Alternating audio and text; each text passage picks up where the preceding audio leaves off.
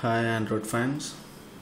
For the last couple of days I was trying to update my Android 4.2 into 4.3 and yesterday I got the update and I have updated that. Now my phone is currently running in Android 4.3 as you can see.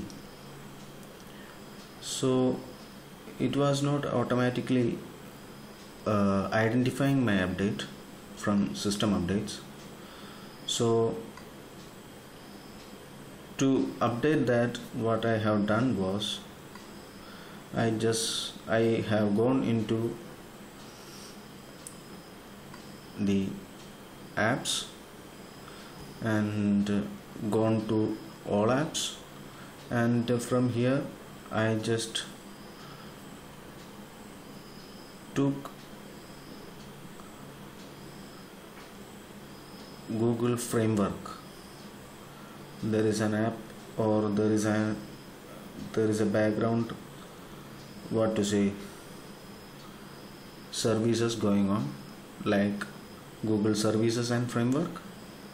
I open that app or open the service and then cleared the data.